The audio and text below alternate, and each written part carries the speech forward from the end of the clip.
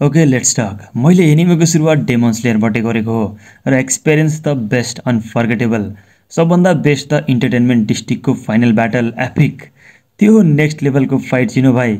Tengen Uzui the sound Hashira versus Gyutaro and Daki. Demon Slayer season three सिद्धिएको निकै नै time भइसकेको थियो। अब फाइनली केही नयाँ अपडेट आएको छ डेमन स्लेयरबाट। मतलब धेरै नै राम्रो अपडेट्सहरू आएका छन्। अपडेट के हो भन्दाखेरि डेमन स्लेयरको एउटा नयाँ मुभी र सिजन फोर आउनेवाला छ। र मैले डेमन स्लेयरको जुन प्रमोसन मेटेरियलको पनि लिङ्कहरू सेयर गरेको थिएँ पहिला मतलब चेकआउट गर्न सक्नुहुनेछ च्यानलमा छ या डिस्क्रिप्सनमा पनि हुनेछ एकचोटि हेर्नुहोला। पहिला त डेमन स्लेयर मुभीको कुरा गरौँ। अब यो मुभीमा चाहिँ Demon Slayer swordsmith village arc को फाइनल एपिसोड र हाम्रो जुन आउनेवाला छ डेमोन्सलेयर सिजनको फर्स्ट एपिसोड हुनेछ।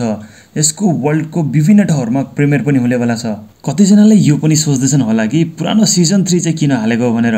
अब यो कुरा त सही हो। डेमन स्लेयरवालाहरूको चाहिँ यो पुरानै बानी हो। र यो मुभीको चाहिँ वर्ल्ड प्रिमियर हुनेवाला छ फेब्रुअरी तेइस दुई हजार चौबिसमा लगभग दुई महिनापछि।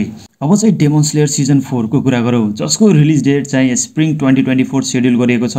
स्प्रिङ अर्थात् मेबी एप्रिलतिर हुनसक्छ if I'm not wrong exact date त पछि नै थाहा हुन्छ। डेमोन स्लेयर सिजन फोरको नाम चाहिँ Demon Slayer to the Hashira training arc राखिएको छ। जस्तो कि नाम छ यसमा हाँसिराहरूको ट्रेनिङ हेर्न मिल्छ। मेन हिरो तान्जिरोको हाँसिरा ट्रेनिङ तान्जिरोको बहिनी नेजुको फर्स्ट डेमोन भइसकेकी छिन् जो चाहिँ सनलाइटमा सर्भाइभ गर्न सक्छिन्। सो हाम्रो माइकल ज्याक्सन हाम्रो भिलेन मुजान किबुसुजी नेजुको पछाडि त आउँछन्। त्यसैले हाँसिराहरूलाई दरो ट्रेनिङको जरुरी छ किनभने अब अप्पर डेमोन्सहरू मात्रै बाँकी छन्। सिजन फोरको एन्डिङमा चाहिँ एपिक फाइटको सेटअप चाहिँ हुनसक्छ जसले लिड गर्छ सिजन फाइभमा इन्फिनिटी क्यासलको लागि। सो सिजन फाइभ चाहिँ बडो खतरनाक हुनेवाला छ एक्सनको मामलामा।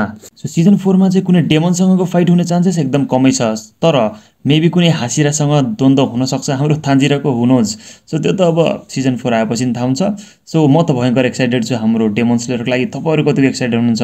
र एनिमेको फ्यानको को छन्? तल कमेन्ट चाहिँ लेखिदिनु होला। र डेमोन्सलेयर कतिको मन पराउनुहुन्छ? त्यो पनि लेखिदिनु होला। र फेभरेट क्यारेक्टर कुन त्यो पनि लेखिदिनु होला। र यस्तै खालका मुभीका रिभ्युज अपडेट्स न्युजहरू थाहा पाउनुको लागि च्यानल सब्सक्राइब गर्नु होला फेरि पनि भेट्नेछौँ। जय नेपाल।